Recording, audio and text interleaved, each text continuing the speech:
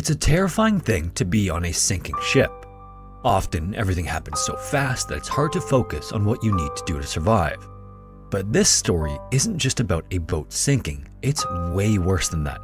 It's about one of the worst things you can imagine happening once you hit the water. As always, viewer discretion is advised.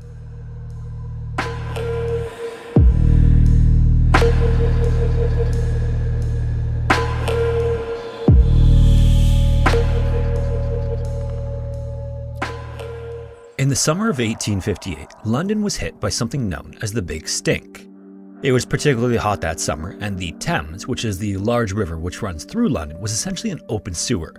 Now, London did already have a sewage system that covered and redirected several rivers to flush waste through underground passageways, but these still just emptied directly into the Thames. Even worse, by 1858, this system was in need of a serious overhaul. This meant that gases often leaked, especially on hot days, and even though it moved the waste away from where people lived and worked, it was still dumped into the Thames, where it would just pile up on shore. On hot days, this smell would become unbearable. In fact, Michael Faraday, one of the most influential scientists at the time, once wrote that, quote, the feculence rolled up in clouds so dense that they were visible at the surface, end quote. And unfortunately, that summer it was hot every day. This was also before germ theory, and the prevailing idea was that disease was spread by miasma or foul smells instead. And so it was assumed that many outbreaks of cholera and other diseases that plagued the city must be linked to the stench from the waste problem. Proposals had been made for years for an overhaul, but up until then had been put off due to cost. But finally, the big stink made officials realize the urgency of the problem. Afterward, a plan was made to divert the waste away from central and west London, where much of the royal family and nobility lived, in London as well, the prevailing winds blow from west to east, so if engineers could control the flow of waste and pump it out in the east, they could limit the smell to just that end of the city. This would also mean it was closer to where the Thames met the sea, which was the natural outflow area anyway. So next, a series of elaborate pumping stations were built to shift the rivers of excrement farther east.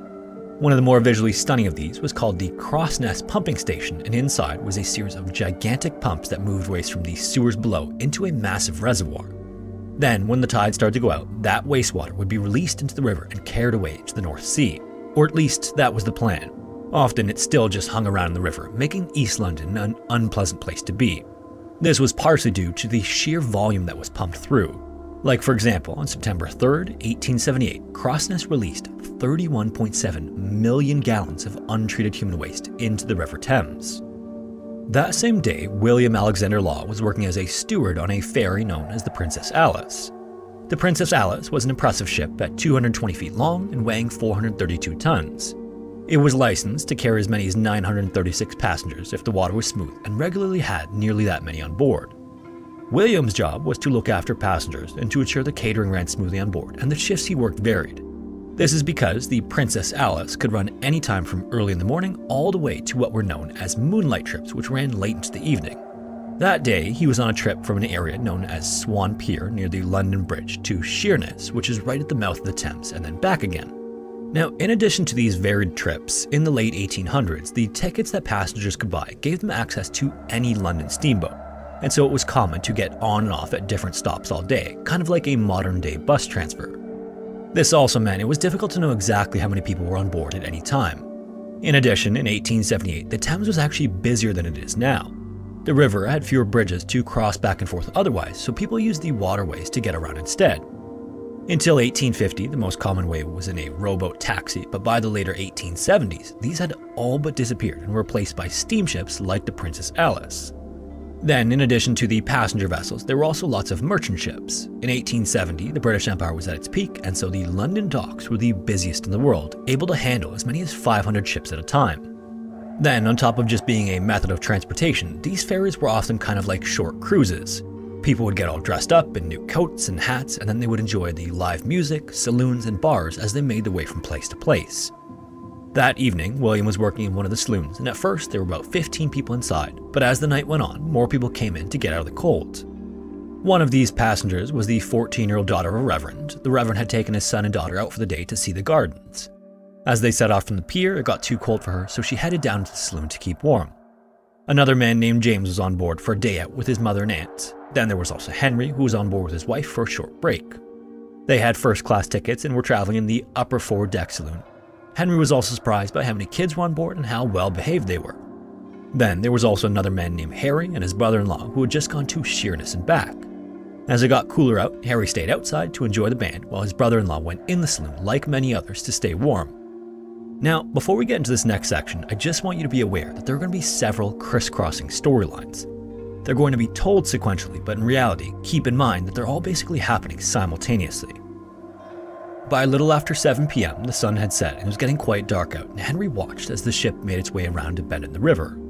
As it did this, it traveled along the south side of the river to take advantage of the calmer water caused by the bend because it was now traveling against the evening tide. And as it pushed its way through the water, Henry spotted a large ship in the distance that seemed to be heading toward them. This was apparently alarming enough that he even asked the crew if there was any chance that they might be hit, but the crewman assured him it would just pass by.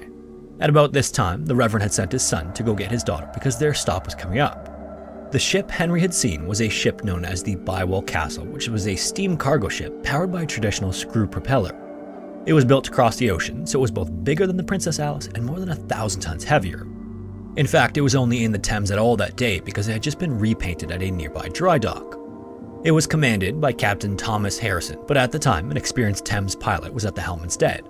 This is because the captain didn't have experience sailing down the busy Thames in the dark. The Bywell Castle also had a large raised section on its bow, known as a forecastle, which made it difficult to see directly in front of the ship. So instead, a crewman was stationed on the forecastle to keep watch as they made their way through the busy river. As the Bywell Castle continued in the opposite direction, the pilot caught a glimpse of the Princess Alice's red lights to the right of them and assumed it was just going to pass by them. At some time between 7.20 and 7.40 pm, the captain of the Princess Alice was standing at the front directing the helmsman, and then, for reasons that are still a matter of historical debate, the captain ordered the ship to cut across the river. Crucially, this was directly in front of the path of the Bywell Castle. Then, just a few moments after he gave the order, the passengers heard the captain shouting in panic. Immediately, everyone turned their heads at once to look, and they all saw the tall mast of the Bywell Castle coming out of the darkness. The pilot on the Bywell Castle immediately ordered a full reverse and tried to steer away, and at the same time, the captain of the Princess Alice tried to turn back south, but unfortunately, it was too late. Harry then watched from where he was standing as the Bywell Castle impacted and sliced directly into the Princess Alice, cutting it almost in half. From that moment on, the ship descended into chaos. A moment later, the Bywell Castle, which had its engines in reverse, began to move backwards, separating the two ships and causing water to flood into the Princess Alice. Down in the saloon, William felt the boat jolt for a second time. This time, it was even more violent, and passengers began to panic, so he ran onto the deck to see what happened. As he came on deck, he heard more screams from passengers, saw the split deck from the impact, and then heard the sound of rushing water. He then ran back into the saloon to tell the passengers to come on deck because the ship was clearly sinking. At first, Harry followed William and the rest of the crew, hoping they had a plan. Then, when it became clear that they didn't, he watched the chaos as hundreds of staff and passengers desperately tried to grab onto anything they could. At the same time, above Harry and William, the crew of the Bywell Castle began throwing anything they could into the river for people to cling onto. This included ropes, buoys, wooden planks, and anything that might float in the river because the Princess Alice was sinking alarmingly fast. The captain of the Princess Alice then ran to the back of the ship and got every crew member he could to help lower the life rafts. When the first two lifeboats hit the water, people immediately swarmed them, so much so that between their heads and the tops of their hats, they completely obscured the water from above. Crowds of people also fought over each rope that the Bywell Castle's men threw over, and some managed to climb on board, but others only managed to hang on briefly before falling into the water below. Several minutes earlier, the Reverend had just sent his son to get his daughter, but before he even had a chance to look for them when the crash happened, he was thrown violently into the water. At some point, he managed to grab a cable hanging from the side of the Bywell Castle and just held on for dear life. It's not clear how long he held onto that cable, but at some point, a smaller boat managed to pull alongside him and pull him in. Tragically, neither of his kids made it off the Princess Alice. While all of this was happening, Harry was frozen in place on deck. He was just so terrified and figured there was no way he could get safe with so many people dying all around him. Then, in just a few minutes, the water covered his ankles, then his knees, and then he was underwater. But this wasn't just cold water. This was raw sewage, tons of it, and it bubbled on the surface and the stink filled the air. Survivors later told the press that the smell and taste of the water were too revolting to describe. Samples taken later were apparently so disgusting that a boat carrying members of the Board of Inquiry couldn't keep a single open vial in the immediate vicinity. And even worse, that sample wasn't taken immediately after a discharge like there had been on September 3rd. But despite how disgusting the water was, there was only one way off the Princess Alice. Before he knew it, Harry was under the putrid water, flailing around for anything that would keep his head above water. Miraculously, one of the buoys thrown from the Bywell Castle landed above him, so he grabbed it and waited until a small rowboat dragged him to the shore. Unfortunately, though, he never saw his brother in law again. Meanwhile, Henry up in first class took his wife by the hand and they both ran to the back of the boat, desperate to find safety. By then, there was a large gap in the middle of the ship, and as they tried to find a spot to cross, there was a huge jet of hot steam. This was because in the collision, the ship's boilers had been damaged. Then, before they could find another way to cross without getting scalded by the steam, the part of the ship they were standing on dropped from underneath them. Henry and his wife then sank underwater, holding tightly to each other's hands. In another part of the ship, just before it disappeared under the water, William was with a woman he was helping off the ship. He told her to make a jump for it before it fully sank, but she couldn't swim, so he picked her up, threw her over his shoulder, and then jumped off the side. William was a strong swimmer and he figured he could swim back over to the shore. But tragically, in their heavy Victorian era clothing, halfway to the shore, the woman slipped under the water. William dived down and tried to drag her back up, but it was useless. As he surfaced, he spotted another man struggling to keep his head above water and managed to get a hold of him. He then stayed with the man, treading water until they were both rescued by a small boat. Several minutes earlier, when the crash happened, James saw the Bywell Castle hit the Princess Alice, but at first it wasn't clear how bad the damage was, so he headed toward the saloon to find his mom and aunt. But then, before he even reached the saloon, he was ankle deep in the filthy water, which was rising incredibly fast by the second. So with no other option, he turned around and went to the side of the boat and grabbed onto some chains that had been dropped by the Bywell Castle. Unfortunately, in everyone else's panic, he was knocked from the chains and plummeted into the water below. James couldn't swim either, so he immediately began to flail around for anything to hold onto, and luckily his finger caught hold of a piece of wood. He then pulled himself onto it and out of the water, and then he made his way over to the side of the Bywell Castle and called for a rope. Luckily, one of the crewmen saw him and he threw one down, and then James was pulled up to safety. Meanwhile, Henry and his wife surfaced and both began to panic as well because neither knew how to swim. Henry was trying desperately to keep his wife afloat when she spotted a plank drifting by, and thankfully they grabbed a hold of it. Afterward, they floated away from the Princess Alice through hundreds of people thrashing about in the water, desperate to save themselves. The water was apparently so thick with people that many were pushed under by others as they struggled to survive.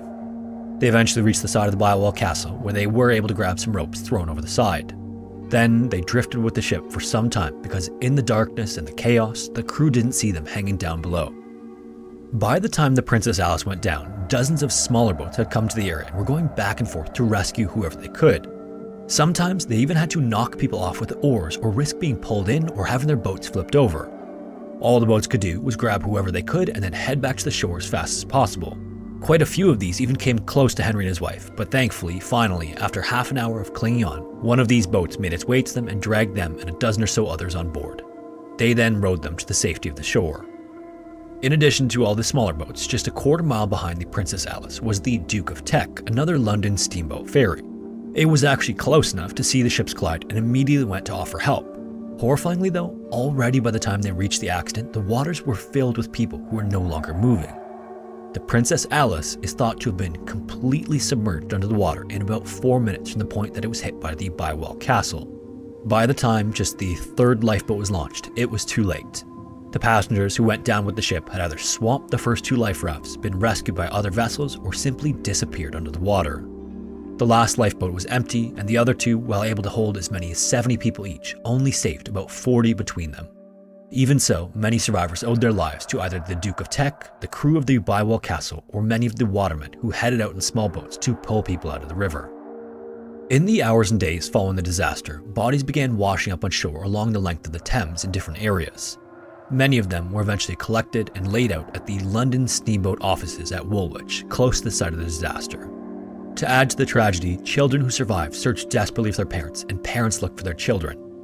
In one example, after finding his way to a bank, one boy asked for some money to find his way home to his mom and dad, but tragically, his parents had died in the disaster. And as word continued to spread about the disaster, relatives began to make their way to Woolwich to look for their loved ones, but for most, it was the worst possible news. In other cases, entire families went down with the ship with no one to come looking for them. A week after it went down, when divers entered the sunken Princess Alice, they found that the cabins were, quote, full of bodies standing erect and packed together at the points of exit, where they must have crowded in the struggle to escape, end quote. And apparently others were still sitting, almost as if they knew they couldn't get out. William, Henry, Harry, and the Reverend were four of the 178 passengers known to have survived the collision, and William was one of only two crew members to make it. Officially, the death toll was estimated to be around 600, but more recent research puts it anywhere from 719 to 756 people who didn't make it out of the sewage that day. Even more horrifyingly, many of the passengers who survived but swallowed the open sewer that is the Thames reported feeling sick for weeks afterward. There are even some reports of people who died after accidentally consuming the water. Apparently, even the brand new hats and coats found all along the river had to be burned because they were so toxic. Later, a salvage team managed to float the front half of the Alice to recover more of the people who didn't make it, and in a strange twist of fate, as they did, the Bywell Castle passed by. It was sent back to London while investigations continued. A later inquiry found that there were several causes for the gravity of the disaster. First, it found that there were too few staff and safety measures for the number of passengers on board.